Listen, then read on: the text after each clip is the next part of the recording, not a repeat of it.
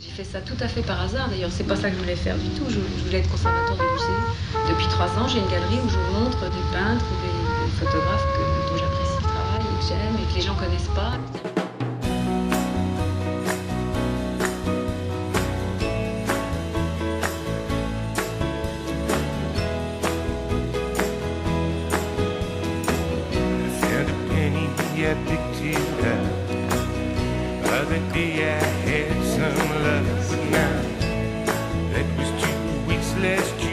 J'ai dit dans le lancement d'ailleurs que tu avais une galerie, rue du Jour. Oui.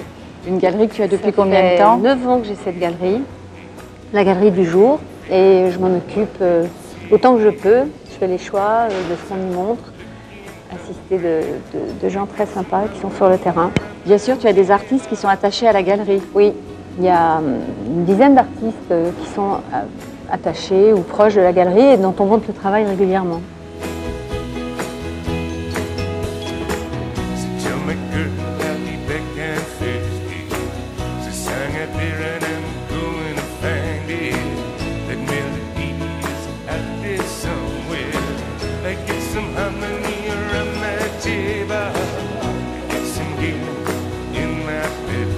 J'ai toujours aimé l'art, j'ai toujours été attirée énormément par l'art. L'art m'a toujours consolée, m'a toujours fait du bien. La beauté du geste artistique que j'admire beaucoup, beaucoup. Je prenais des bouts d'affiches dans les halles au début. Euh, je pensais pas du tout faire une collection. Mais même pendant longtemps, j'ai pas eu l'impression de faire une collection, juste euh, d'acheter des œuvres à des artistes pour leur dire je trouve ça bien, continue. C'est toujours un encouragement pour un artiste, évidemment, de vendre une pièce. Je suis pas en train de monter une collection en me disant il faut que j'ai ça et ça et ça. Pas du tout. Ça se fait au hasard.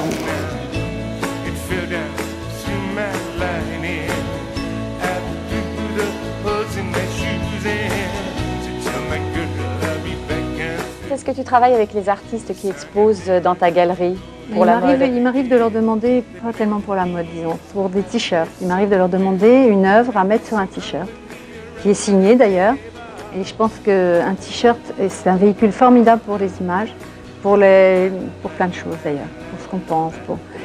Et euh, ces images, elles sont, euh, par exemple, là, oui. On a euh, une peinture de Raphaël Gray, qui est un, des artistes de la galerie, qu'on a reproduit donc sur le jersey en t-shirt. Et comme ça, les gens portent les images sur eux ceux qui les voient voient les images et ceux qui les portent les, les promènent. Et c'est un véhicule formidable, à mon avis, pour les œuvres oui. d'art.